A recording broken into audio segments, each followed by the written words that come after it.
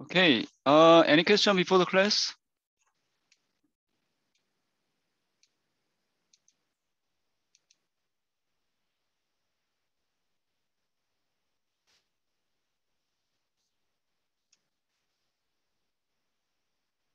Okay.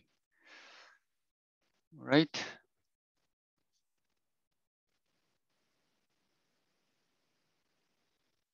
Okay, time. Uh, let's get started.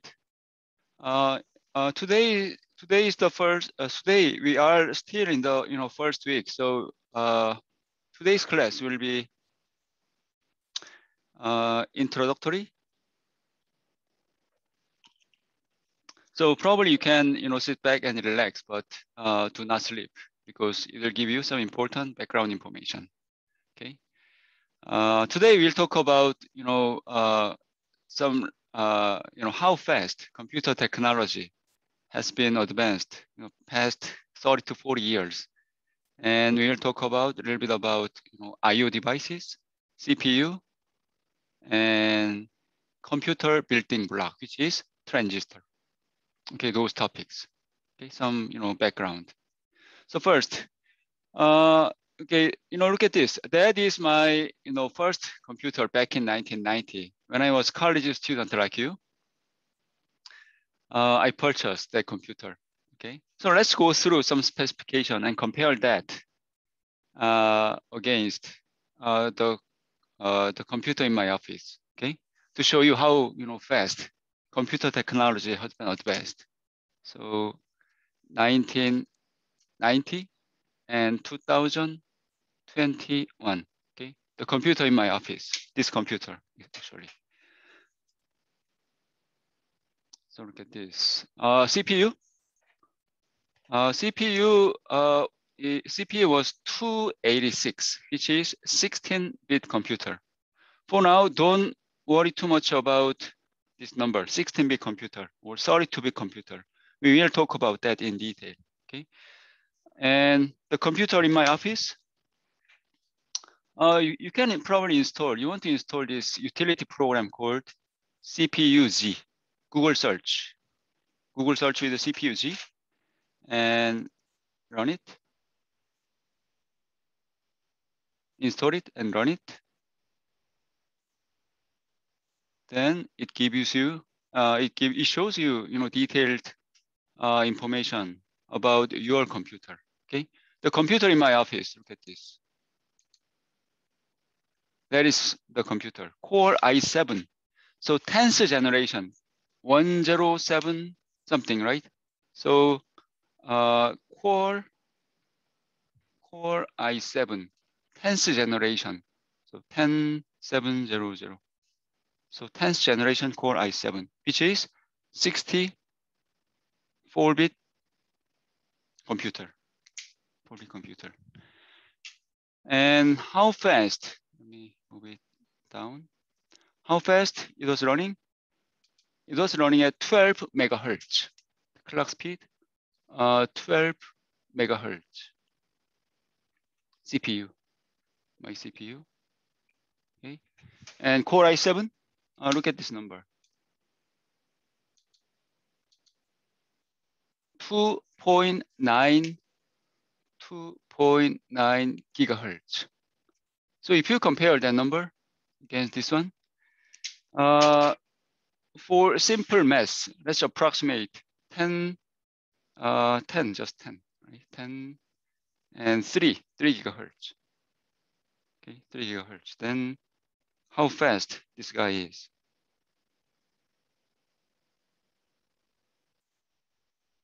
Roughly 300 times, right? 300 times faster than uh, the computer, okay, back in 1990. But if you press, you know, there is a turbo button. So if you press that button, and CPU was able to run this blazing fast, 16, 16 megahertz. It was really fast at the time. Okay, how, how about main memory? Memory. Uh, memory back in 1990, uh, that computer had one megabyte main memory. Okay, about in my office? computer in my office. Click on this. Here, CPU, memory, right? Click on this. Look at this number. Uh, DDR4, the size is 32, 32 gigabyte. Compare that number. Compare those numbers. If you compare those numbers, uh, it is 32, roughly 32,000 thousand times bigger. Okay, main memory is 30, uh, 30,000 times bigger. Okay, how about hard disk? Uh, hard disk, uh, 20 megabyte. Okay, I don't want to write here. Okay, 20 megabyte, and I uh, upgraded it to 30 megabyte. Okay, 30 megabyte, and for that I invested $100. $100 to upgrade, okay? 10, 10 megabyte more.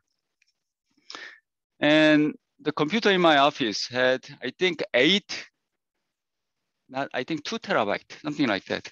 Two terabyte, two terabyte. So, you know, 20 megabyte. The unit is different, megabyte, gigabyte, then, you know, terabyte, right? So you need this, you know, uh, two orders of magnitude, more than two orders, right? So you need you know, two, two, you know, unit difference. And the monitor was black and white, and it was running uh, operating system called DOS. Anyone, anyone know DOS?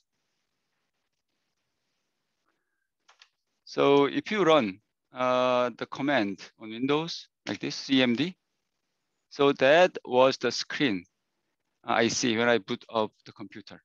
So if you boot your Windows machine and your computer shows very nice GUI environment, right? Graphics user interface. So what you have to do? Just click on those icons, right? Right? But in back in 1990, let me close. Uh, back in 1990, when I boot up my computer, the screen I see is this. This is the screen I see. Then here I had to type command of something like dir. Okay, and then it shows all the files and directories.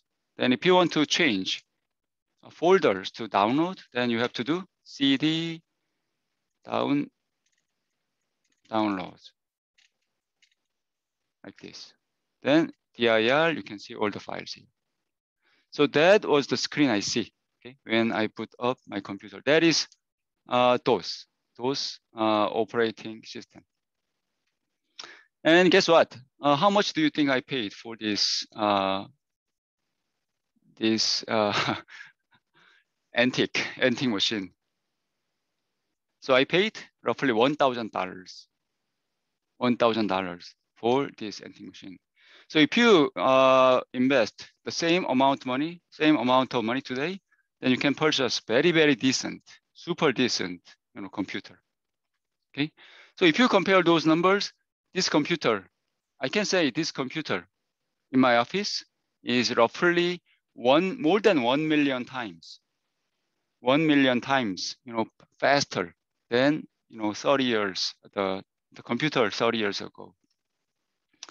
So computer technology has been advancing, you know, that you know that fast. Only a 30 year difference, more than one million times better performance. Okay, and look at this. I managed to find this uh, TV commercial back in 1990. Where's that? Where's that?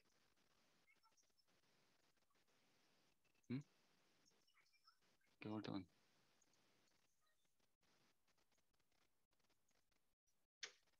something hidden. Oh, okay, here, here. There's a YouTube video. I'm not sure if you are able to hear the audio. No, right? Can you?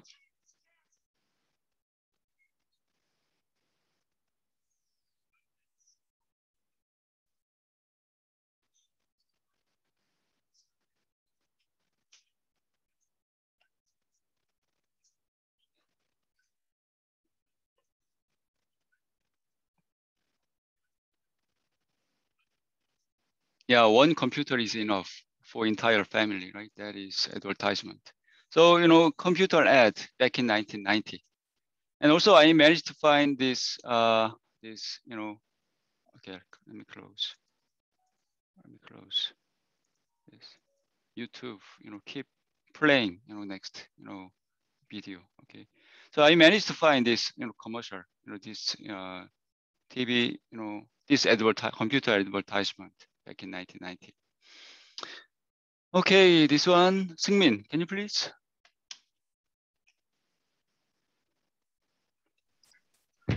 Computer revolution, computer technology has been advancing rapidly. Progress in computer technology makes novel applications possible. In the recent past, the following applications were computer science fiction, composed computers in automobiles, smartphones, human genome project, World Wide Web, and search engines. Now, computers are pervasive. Computers are virtually everywhere in our daily lives. Lives. yeah, our daily lives. Okay, so uh, you know, look at those, uh, look at those applications, computers in car, okay, smartphone, human genome project. Uh, those those you know technology uh, you know, 20 years ago, 30 years ago, those uh, technologies appeared in you know, sci-fi movie, like 007 movie. But you know, uh, those are nowadays those are part of our daily lives. Right? We are living with uh, those technologies, you know, these days. Uh, thanks to the, the advancement of computer technology. Okay, uh, computer classification computer can be classified into three categories. Uh, this one, Sojong, can you please? Classes of computers, personal computers, PC, general purpose, desktop, notebook, netbook. Servers, running larger programs from multiple users, usually accesses via network. High capacity, performance, reliability range from small servers to building sized. Low end used from used for small business or web serving. High end supercomputers or data center with hundreds to thousands processors with terabytes of memory and petabytes of storage embedded computers, a computer inside another device used for running predetermined applications. Example, GPS navigator, robots car. Okay, thanks. Uh, you know, computers can be classified into these three categories, uh, personal computer, server computer, and embedded computer. Probably I don't have to explain, you know, personal computer, right? Because you are, your computer is PC, right? Notebook, desktop computers and supercomputer. And there are small supercomputers and building-sized supercomputers. You know, building-sized computers are called supercomputer or you know, data center. And then the question is, what is the difference between these two? Personal computer and for example, supercomputer, for example. What is the difference between these two? Uh, from hardware perspective, there's not much difference. You know, supercomputer has a lot of CPUs, you know, I told you last time, right? Computer? Computer uh, is composed of three big you know, components, right? First one, CPU, memory, second, and a lot of IO devices. So in case of supercomputer, you have a lot of CPUs. And you have super big main memory and super big storage. Right? That is supercomputer from hardware perspective. Let me give you one example. If you uh, go to uh, this web page, go to this top500.org.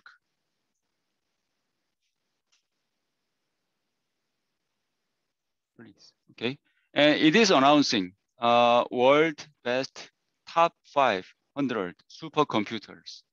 you know, twice every year. If you check out this, top 500, right? So 2020, last year, June, June and November, okay? 2019, June and November. So they are announcing, uh, you know, supercomputer ranking, okay? Uh, two times a year. Let's check out the latest, June 2021.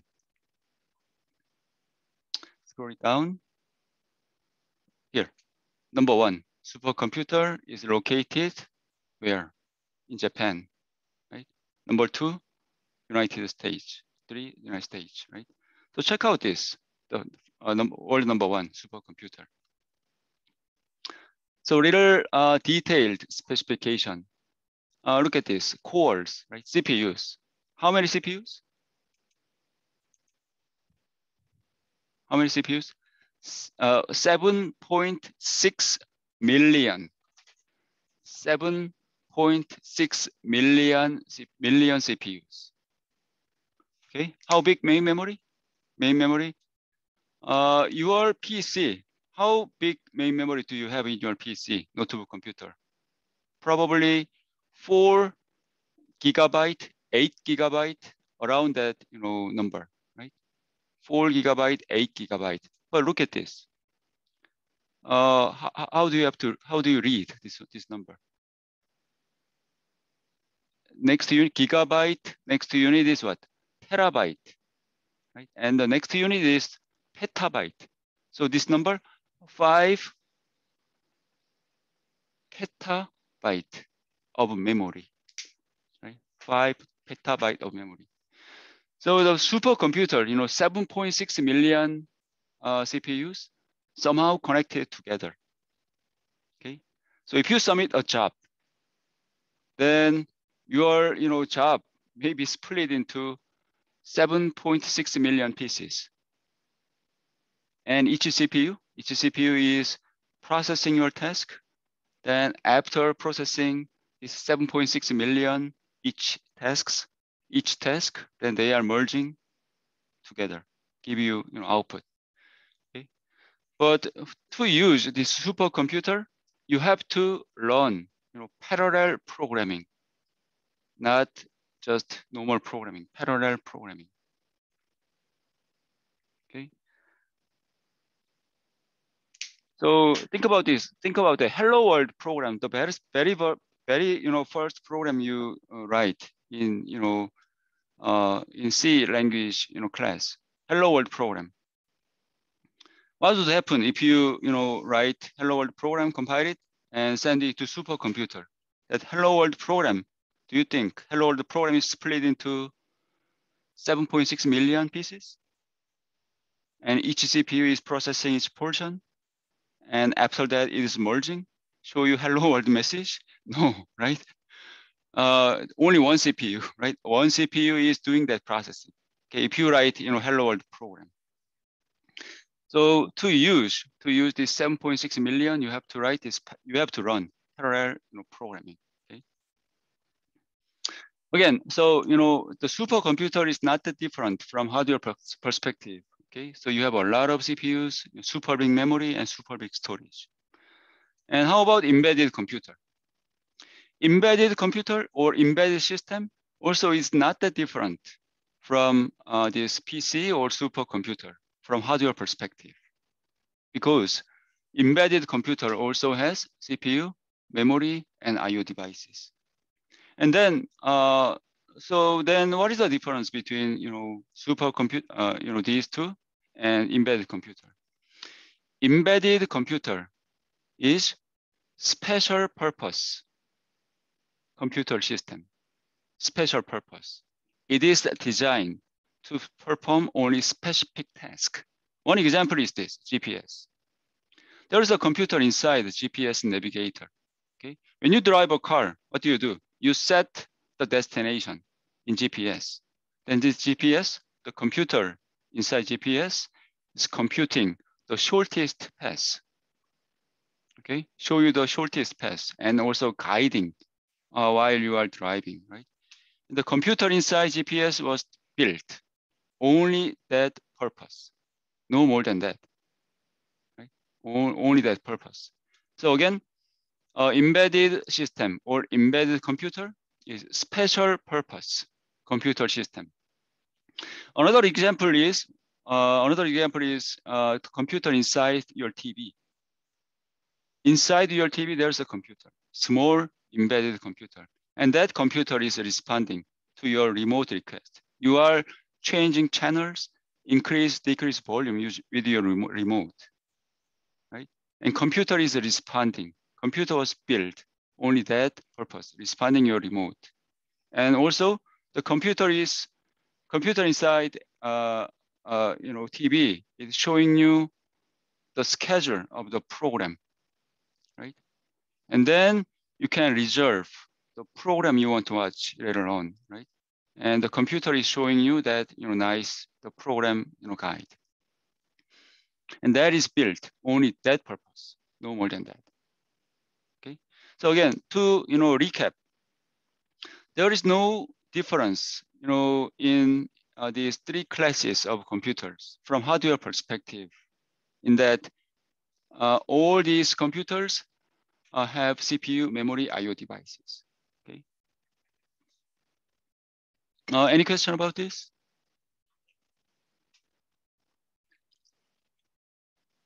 Okay, let's move on. Okay, this one, Yunsu, can you please? Uh, components of a computer. Uh, same components for all kinds of computer. Uh, desktop, server, embedded. Input output includes uh, user interface devices display, keyboard, mouse, storage devices, hard disk, CD, DVD, flash, uh, network adapters for communicating with other computers. Okay, thanks. Uh, same component, uh, regardless of these you know, category, right? Categories. And input output devices, IO devices, you know, uh, keyboard, mouse, hard disk, Wi-Fi module, uh, Bluetooth module, right? And yeah, everything, right? Except CPU, memory, you know, everything is uh, IO device. Okay, so that is an example. Probably I don't have to explain, right? Keyboard input device, and mouse input, and network, you know, cable. Right? Monitor is also IO device, right? Output device. So if you open this uh, package, this box, then you can see uh, some internal uh, internal component, right? So this one, this one, uh, where is CPU? Processor. Processor is this. So underneath this metal uh, sink, there is uh, CPU and main memory, right, DIMM. Main memory goes to this spot. And that is the picture of main memory we use in notebook computer. And battery goes to this uh, big space and you have hard, hard drive and DVD drive and so on. Okay. So uh, uh, desktop computer system, block diagram of desktop computer system. You have CPU, uh, memory, and green boxes, IO devices, right? CPU, memory, and IO devices. And North and South Bridge, those are called chipset, super complex hardware component, but its function is very simple. It is connecting. North Bridge is connecting CPU to graphics card. It is connecting CPU to main memory. South Bridge, right? It is connecting CPU to hard disk, USB, uh, PCI Express card.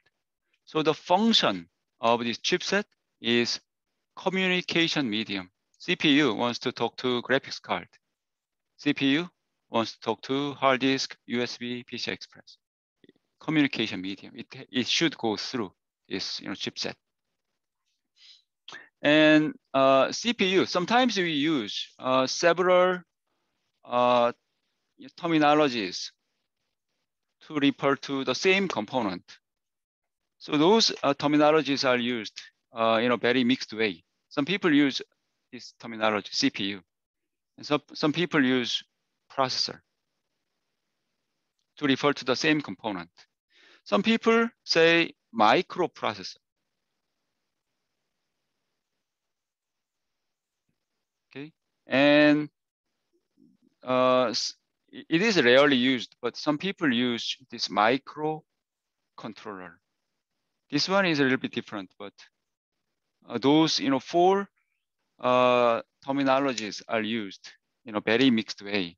But we usually use CPU or processor. Okay, so this one is a little bit different, but you know these three actually used in a very mixed way. CPU, processor, CPU, we call it CPU, we call it sometimes processor, we call it microprocessor, right? And microcontroller is a little bit different, okay? But you know, some people use that terminology as well. Okay, let's go through some important uh, IO devices. Okay, this one, uh, Nada.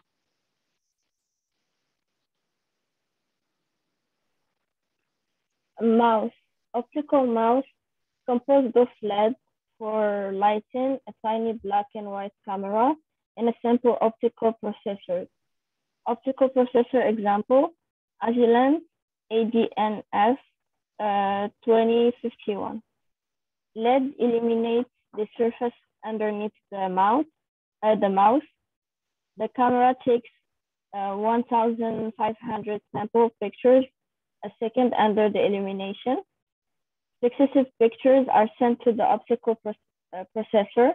The processor compares the images and determines whether the mouse has moved and how far. Okay, thanks.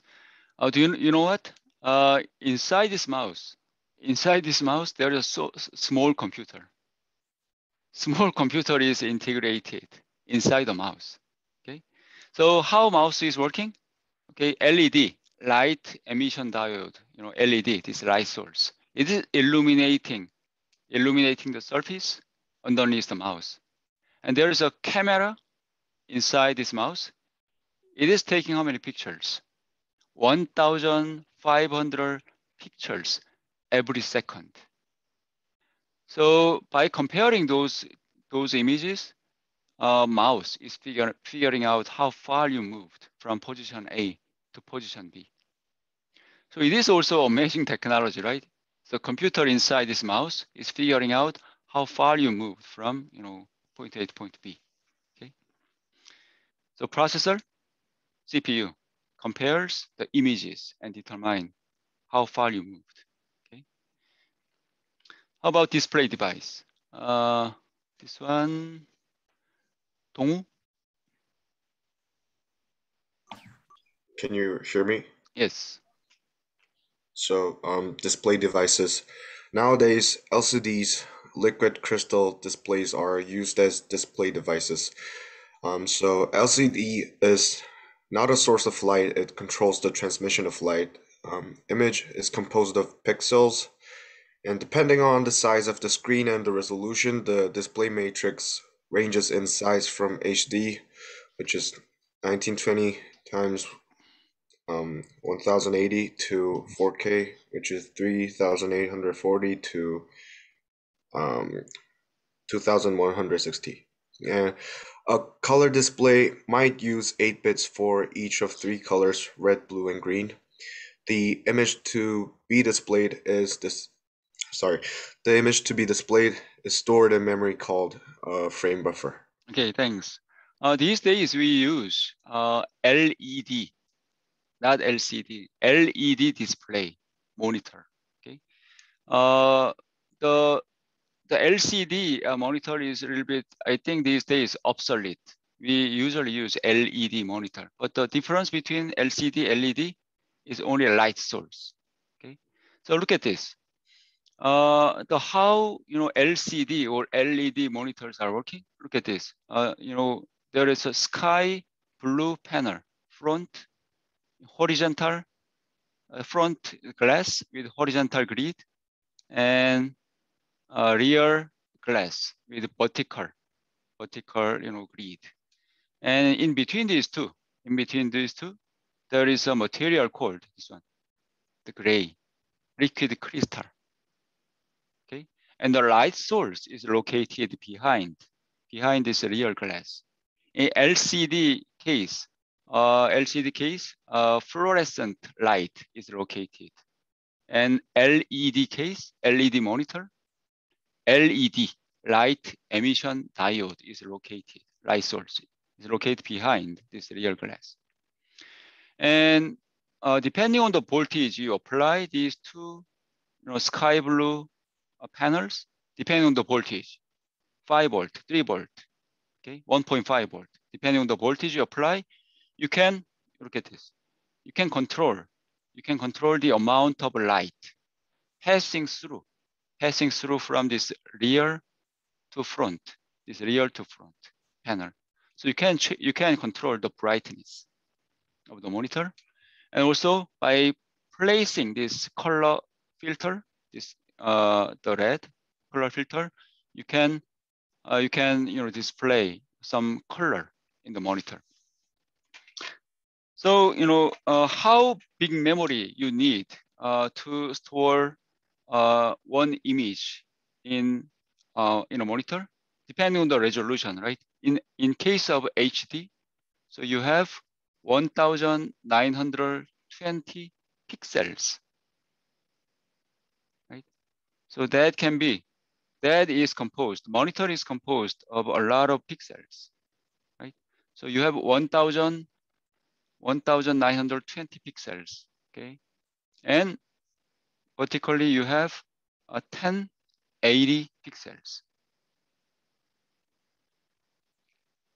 1080 pixels. So to display one color, you can control the color in this, you know, each for each pixel. To display this, to display a color, we, use, we usually use R, G, B, red, green, blue. So by combining these three colors, you can, by three components, you can display any color. Right? And for R, we use typically use one byte, one byte for R. Okay, so one byte means what? Zero. You can program, right? G, same thing. One byte for green and one byte for blue. So to display a color in this pixel, you need three bytes. Three bytes of memory. Okay.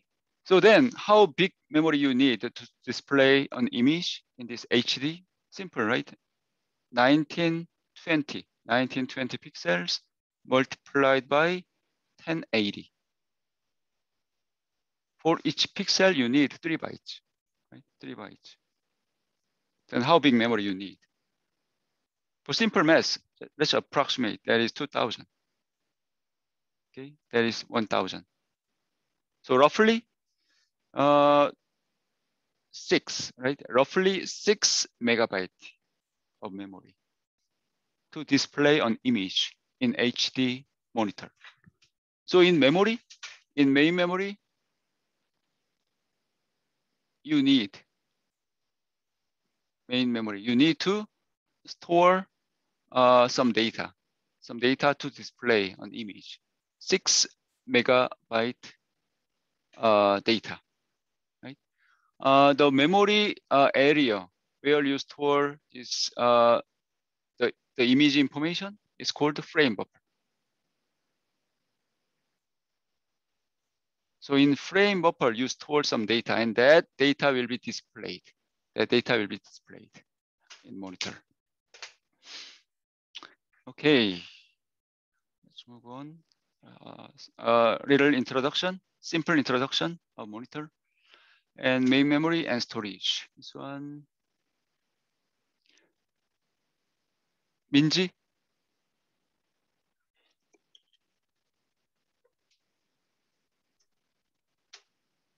main, main memory and storage. Main memory volatile uses instructions and data when power off. Secondary storage, non-volatile. Magnetic disk, SSD, flash memory, optical disk.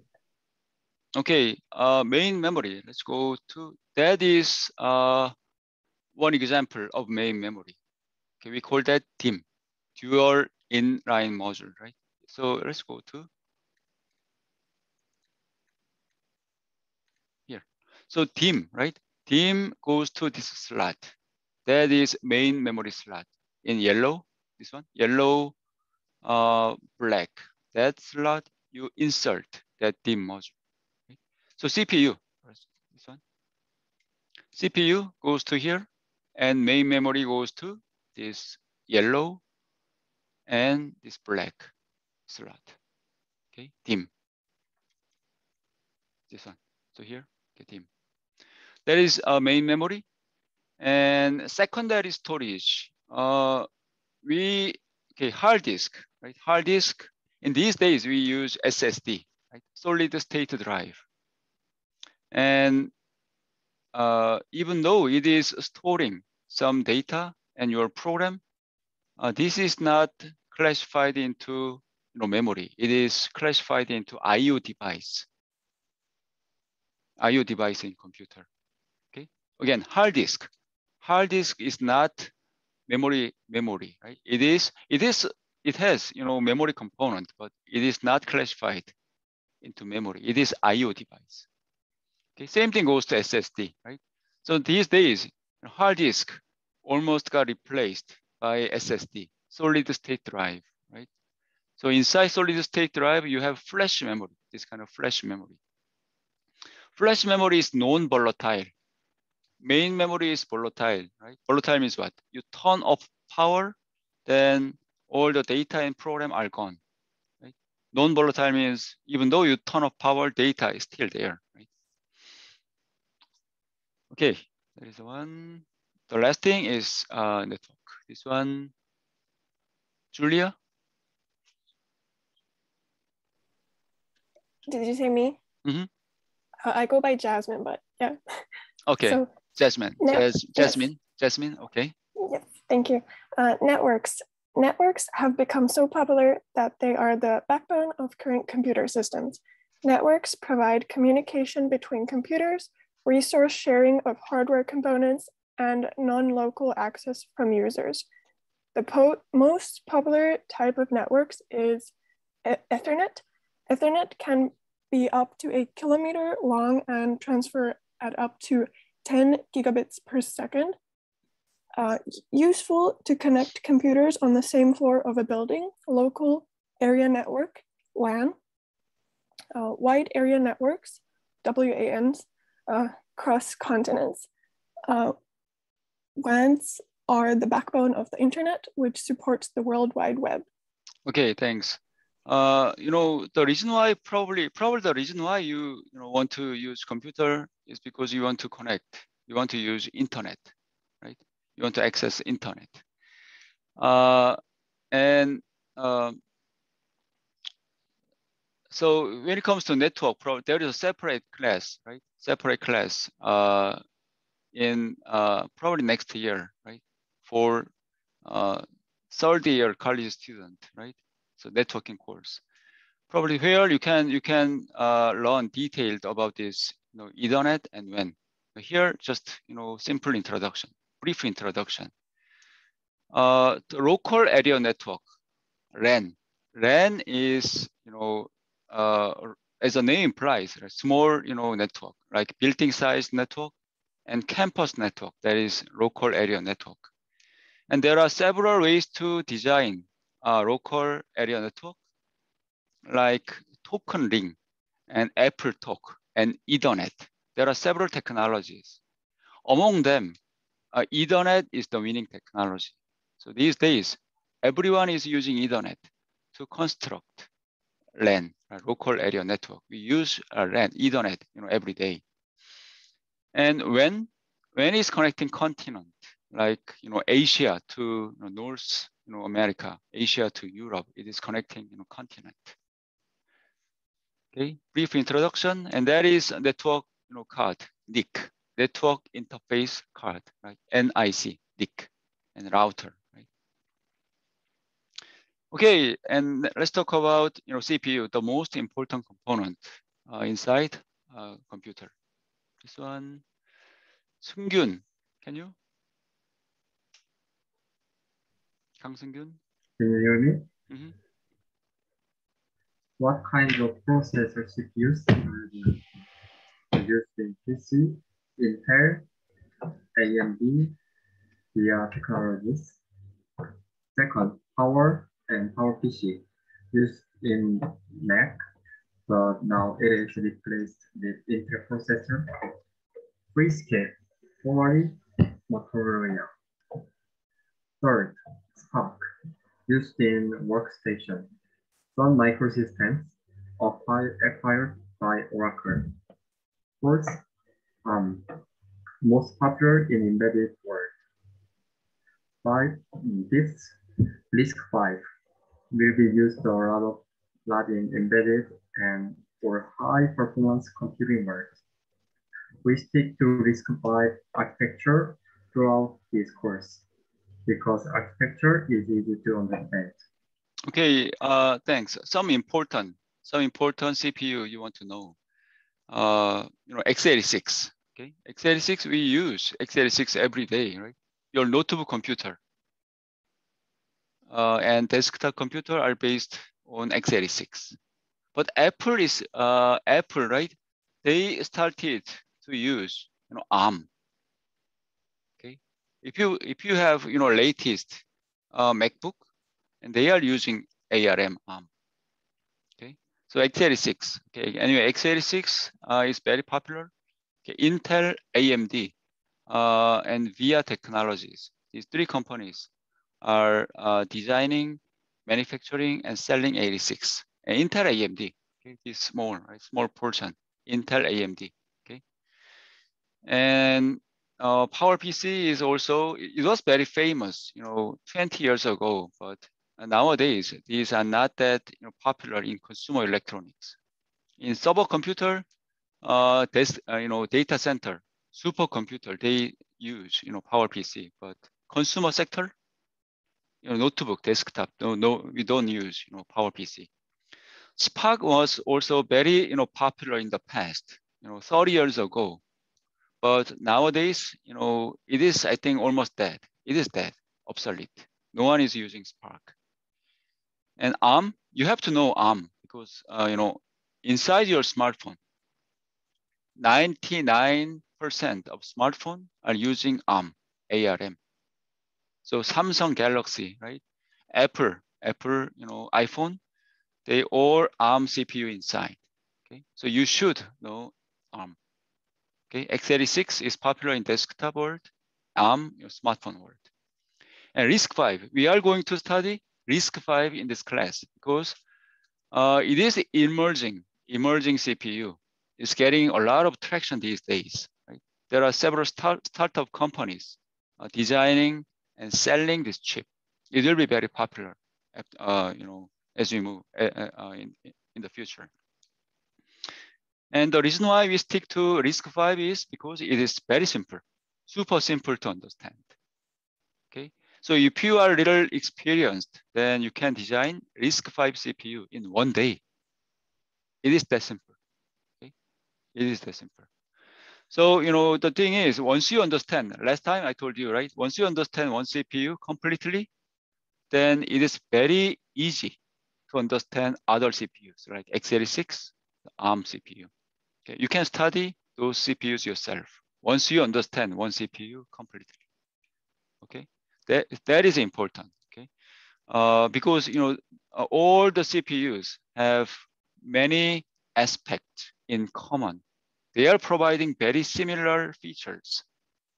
That is why we stick to you know simple CPU. Once you know, once you completely understand one, then you know the other things you can just read their documentation. Okay, let's talk a little bit more about x86. Okay, today, because that is the CPU you use every day. Okay, x86. Why? What is x86? Okay, first, please, 주영.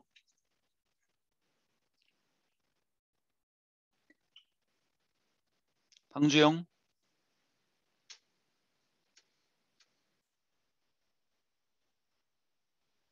Okay, probably bathroom break. Okay, 홍찬. X, um, can you hear me? Yes. Okay, x86. What is x86? generic term referring to processors from Intel, AMD, VIA, derived from the model numbers of the first few generations of processors, 8086, 802, 86, 803, 86, 804, 86, x86.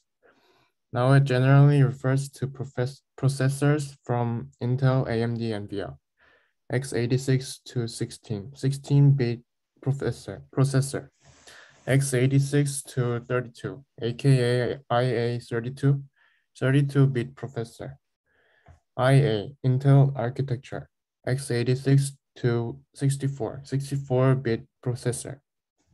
Intel takes about 80% of the PC market and AMD takes about 20%. Apple has also been introducing Intel-based Mac from November 2006. Okay, thanks. So what is x86? Uh, the name comes from the first, uh, first few generations processors Intel uh, produced. Okay, first a few processors was you know named like this: 80, 86, 286, 386, 486. So something, something 86X, right? Something 86. Uh, these days, we no longer use that convention, right? The processor from Intel, Core i7, right? Intel is using this, you know, brand name Core i7, Core i5, Core i3, Core i9, those brand name. So we no longer use that convention, but because of that historical reason, we still use, you know, this terminology, x86. So you say x86, that means it is a processor from Intel, AMD, and VIA technologies. Okay. Uh, second bullet, probably I have to change this statistics because AMD is getting, AMD is doing a lot, you know, AMD is, uh, uh, AMD is doing, you know, great these days, right? So they are taking, uh, I think, similar market share, I think, with uh, uh, to Intel, right? That is the statistics uh, two years, three years ago, right? You know, 80% of market was taken by Intel, the rest taken by AMD. That was statistics. And Apple, right? Apple actually uh, was introducing MacBook from November 2006 with Intel CPU inside.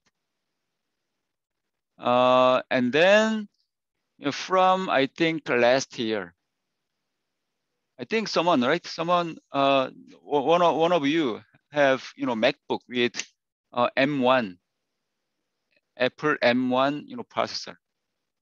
MacBook with M1 processor that has ARM, ARM CPU inside. Right, ARM CPU. So they are diversing its portfolio. And eventually, I think they are not going to use Intel you know, processor.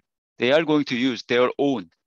M1 was designed by Apple. Apple. Right? So they are they want to use their own you know, processor for MacBook. So eventually, I think they are using their own. Uh, so look at this. How how many how many you know people do you see in this picture in this you know photo? Can you see two?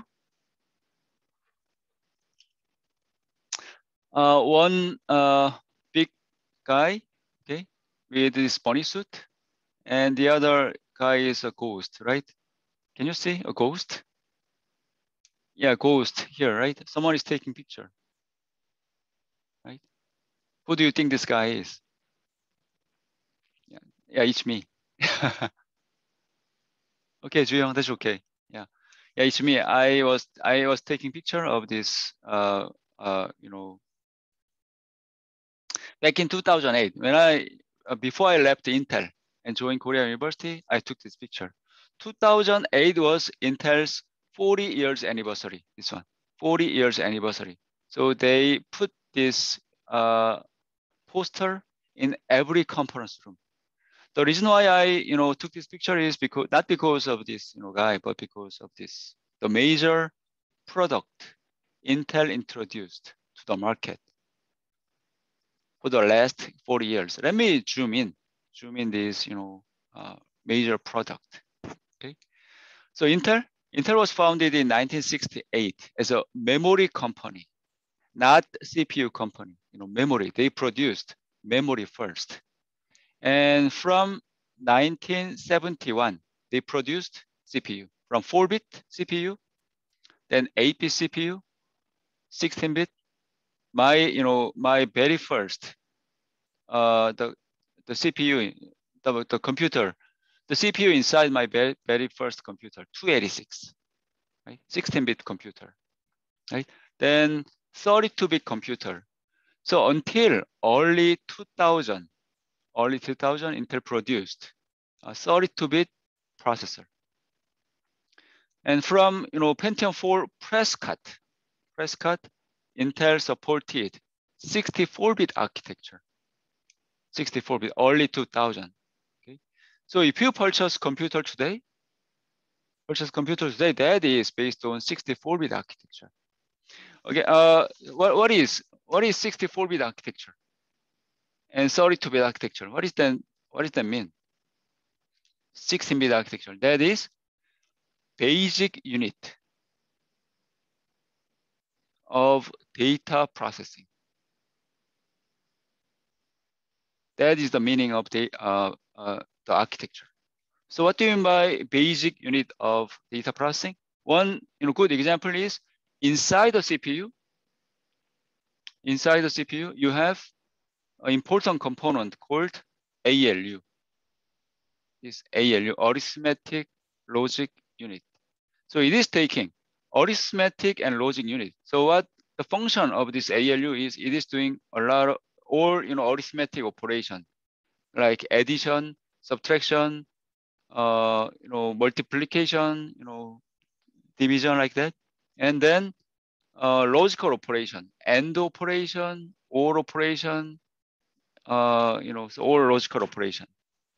Right? So if, for example, if you write C language like this, A is equal to B plus C, A is equal to B plus C, right? Then ALU will do this addition. ALU.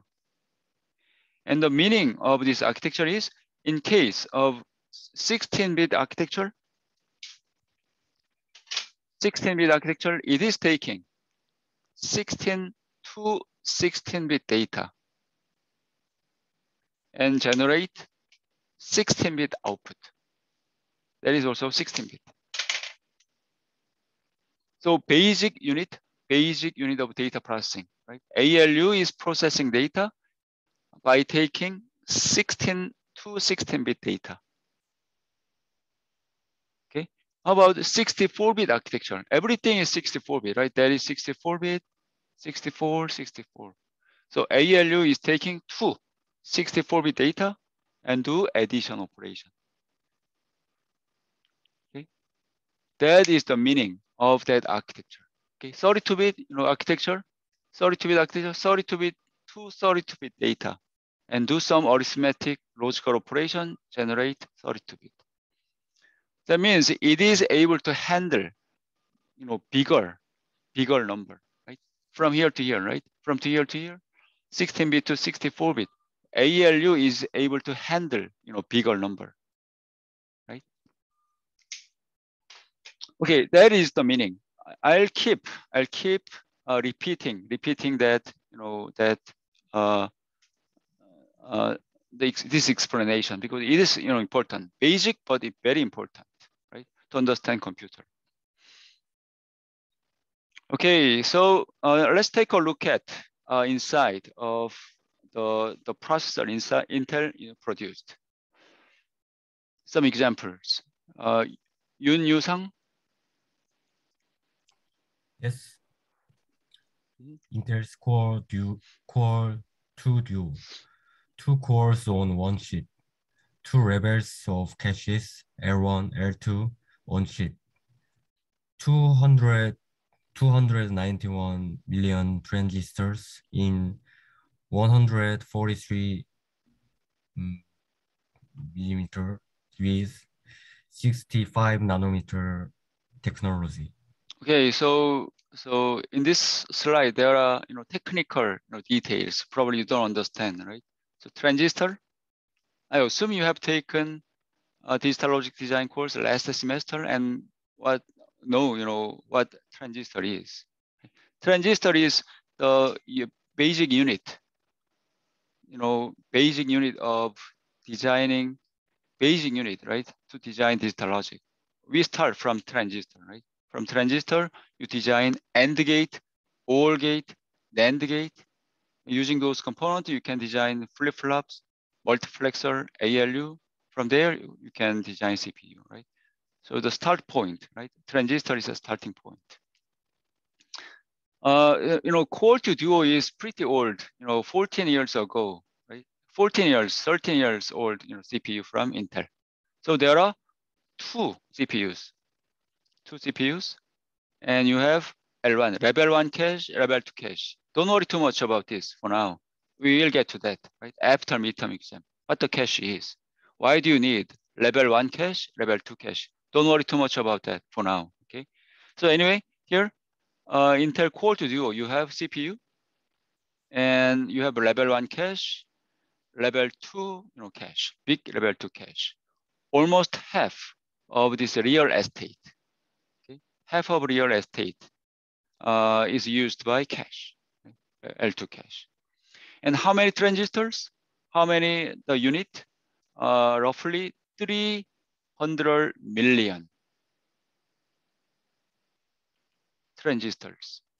Okay, 300. In Korean, 3억 transistors, right? 300 million transistors. How in, you know, thumbnail sized, 143, 143 square millimeter. In thumbnail sized space, you have 3 million, 300, 300 million transistors packed. And we are using this technology, 65 nanometer technology, semiconductor technology. Okay. And how about Core i7? The first uh, Core i7, first generation of Core i7. You have four CPUs. Okay. And one more level of cache. Okay, let me, sorry, let me close the window. Some noise.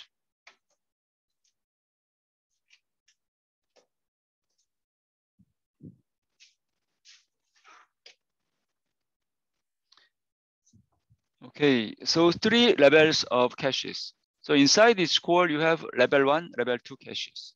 Okay, and level three cache is shared by these four CPUs. Okay. Uh, again, don't worry too much about this cache, right? We'll talk about, we will get to that. Okay. And how many transistors? Uh, 700 million transistors, 7억 transistors. Uh, okay, on thumbnail sized space. And semiconductor technology, 45. Compare that against this one, 65. Number is getting smaller. 65, now 45.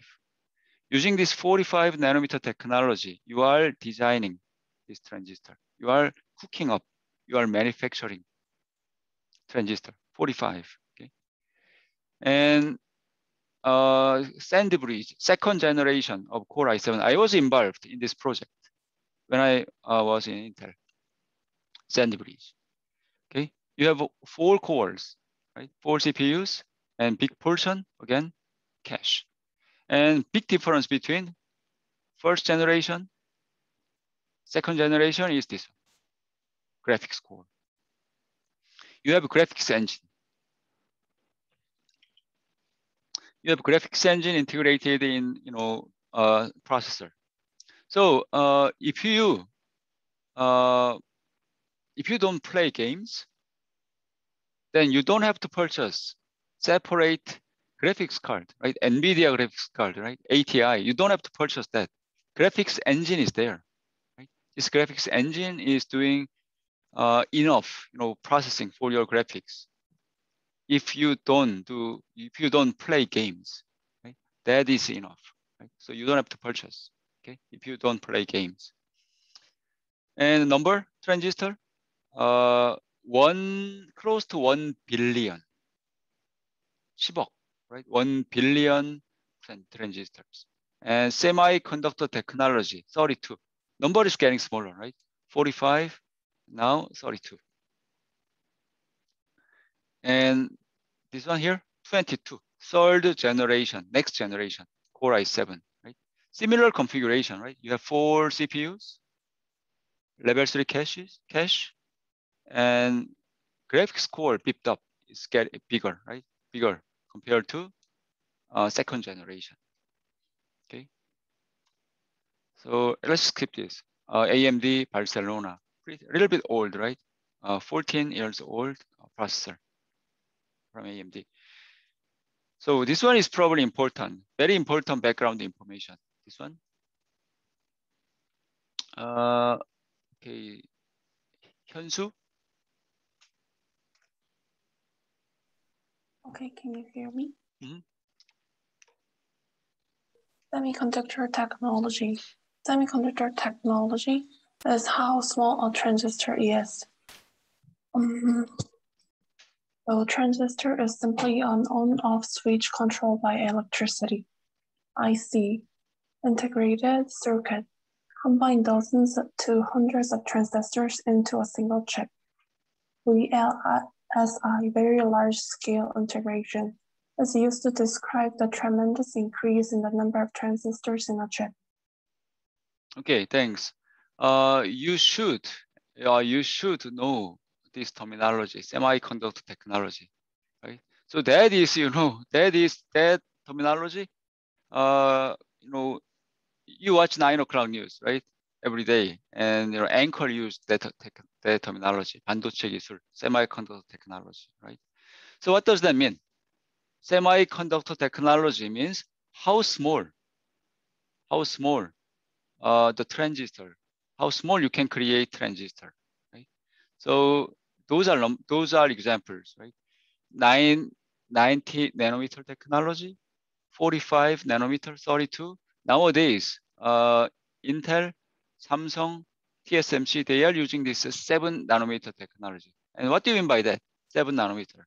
And that is the cross section of transistor. What is transistor? Transistor is a switch.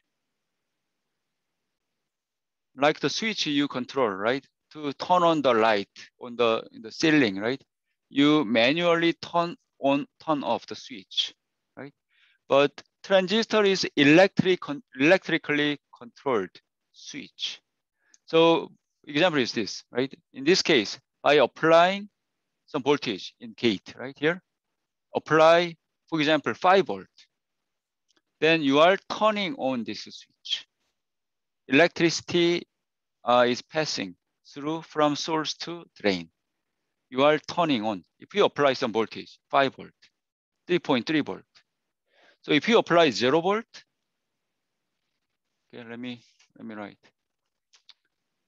So here, if you apply, if you apply, for example, five volt, then electric, uh, you know, electric current is passing through. So switch is on. But if you apply, if you apply zero volt, then no electric current. Switch is off. Okay, switch is off. So by applying the voltage, applying voltage, you can turn on or turn off the switch. So it is electrically controlled switch. Okay, that is transistor switch. Simple, right? Switch. And this technology means seven nanometer technology means how small this channel is. That is a technology. How small you can create this channel. Okay, from source to drain, how small this yellow, yellow arrow, right?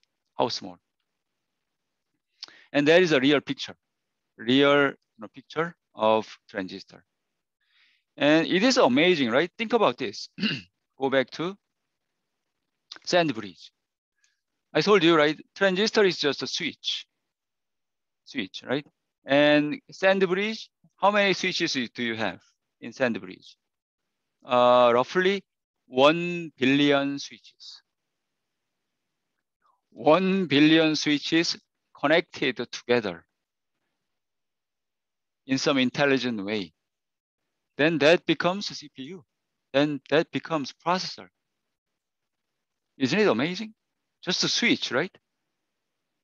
Connect them together. a lot of switches connected together.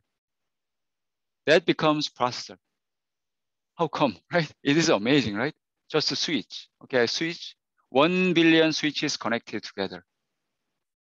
Then somehow that becomes processor. Amazing, right? I, I'll show you, you know, how to how to cook up, how to cook up, you know, CPU uh, from you know transistor later on. Okay. Okay, a transistor is simply on-off switch controlled by you know electricity. Okay, IC means integrated circuit. Okay, you integrate uh, hundreds of transistors together, and that is called IC, integrated circuit. VLSI as the name, name implies, very large, very large number of transistors integrated, very large scale, right? VLSI, simply you, you integrate a lot of transistors, a lot of switches together in one chip. That is called VLSI, right? Okay, and uh, this slide is showing you how small transistor is. Compare that transistor uh, with human hair. Human hair 100 micrometer.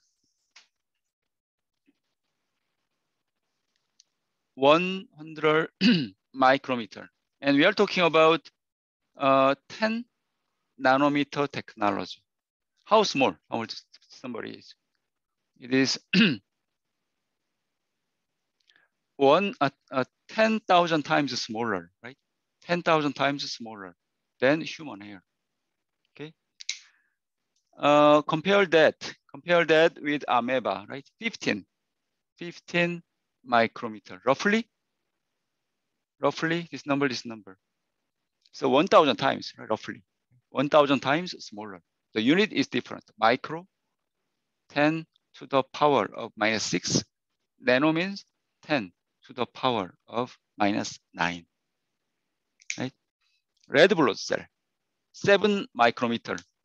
7 micrometer. Compare that with the latest semiconductor technology, 7 nanometer. So easy, right? 7, 7. So unit micro, nano. So 1,000 times smaller than red blood cell, right? Transistor switch. So we are manufacturing that small switches, right? And compare that with H virus, right?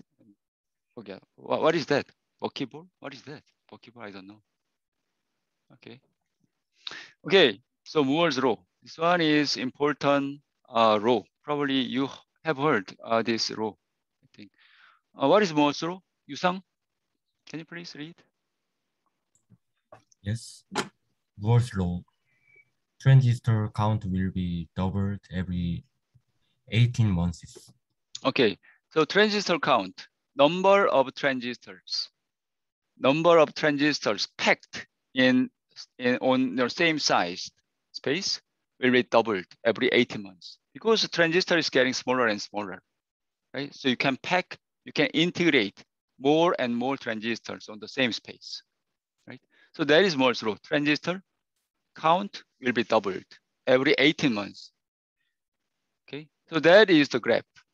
X-axis, year, and y-axis transistor count. It's a log scale, right? 1,000, 10,000, and so on, log scale. So back in 1970, okay, 4-bit CPU Intel produced has only 2,000 switches. And now, not now, right? It is more than 10 years ago, 1.7 billion, 1.7 billion switches packed, connected, right? So that is Moore's law, okay? So how to, so one example, how to create some meaningful logic from switch, switch, this transistor, symbol of a transistor. I assume uh, you have you have you seen this uh, schematic diagram from digital logic design course? So that is a transistor connected, right? Inverter actually. So A and Y. So that is input and output. Right? That is, for example, 5 volt, okay, 0 volt. So, you know, inverter, what is the function of inverter? Inverter function is very simple, right? so you supply 1, logic level 1, then you get 0. And supply 0, then you get 1. So what is 1 and 0? uh, physically, that is voltage, right? 5 volt, for example, 0 volt. 0 volt, 5 volt. So how do you get this function? Uh, very simple, by connecting these two transistors together like this. Okay.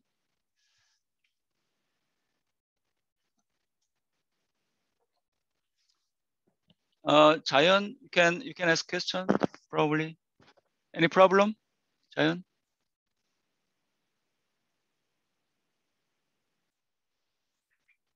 Chayan, any problem? Okay, you can ask question after class, after this class. So uh, that is inverter. You know, the thing is, if you apply five volt, uh, this trans two transistors connected together, right? So you have bubble, right? That is PMOS transistor, P uh, MOS transistor, NMOS transistor, no bubble. Bubble means uh, low active. If you apply uh, zero volt, zero is low, right? Zero volt is we, we, we think of it as zero. Okay, five volt, we think of it as one computer is handling zero or one, right? Zero and one, right? So uh, low active, zero, uh, this bubble means what? This transistor will be turned on if you apply zero, it's zero volt, okay?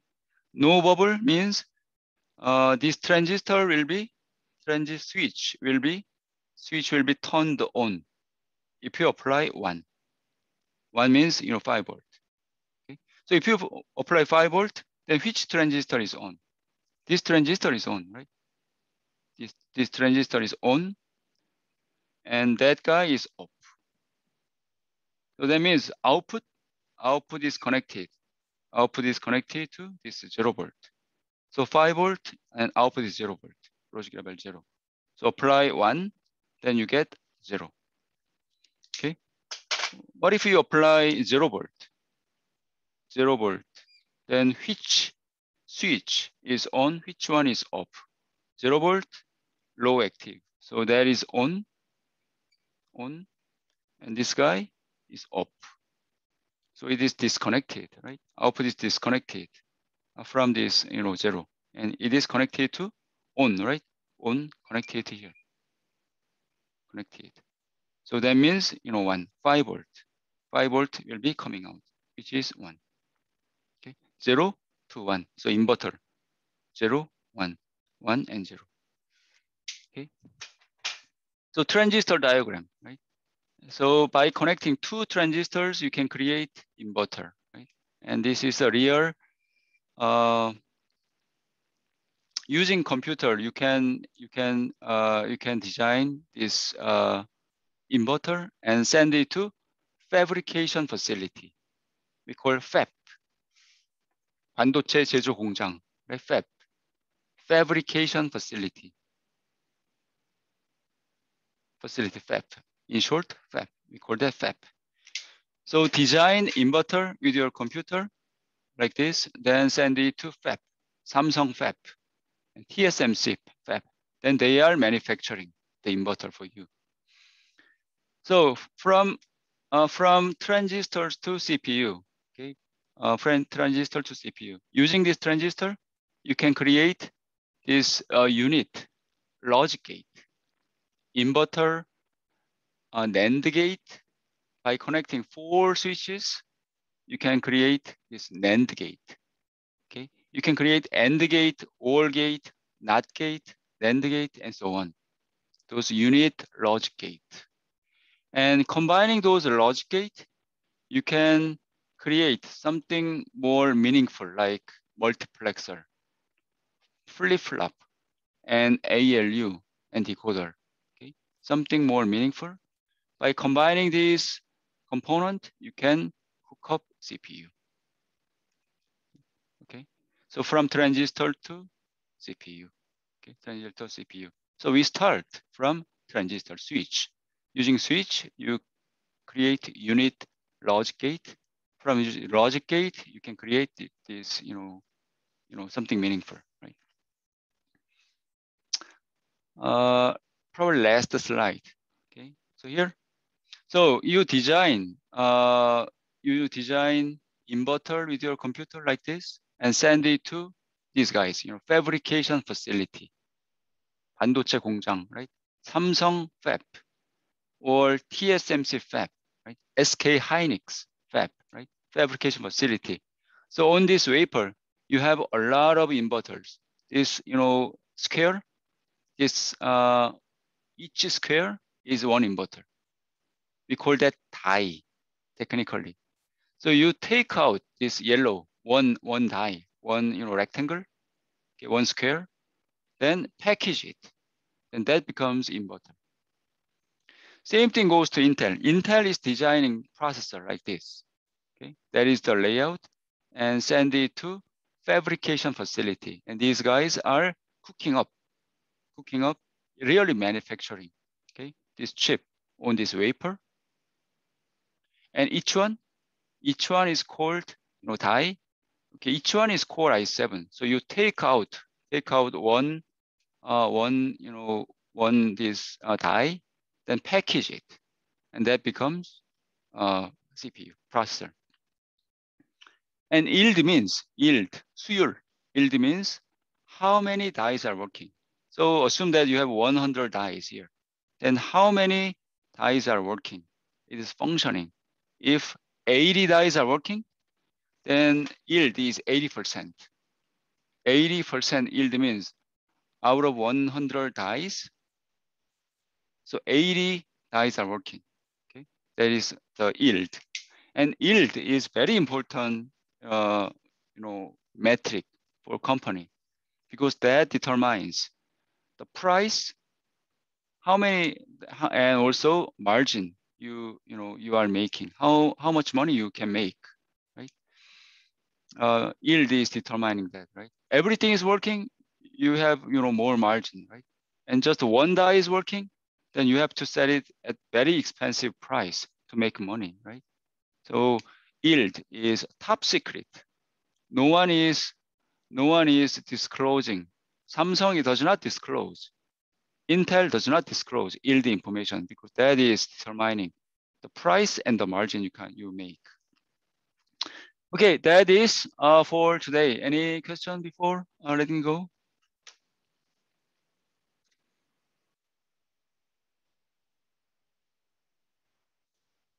Uh, 자, Jahon, Kim Jahon, right? Jahon, any Yes, question? Yes. no, no, no. It's just the answer about your question. Oh, okay. That- Okay. Yeah.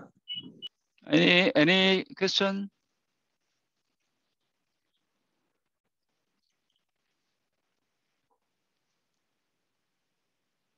Okay, that's it. Then see you. I'll see you next time on Wednesday.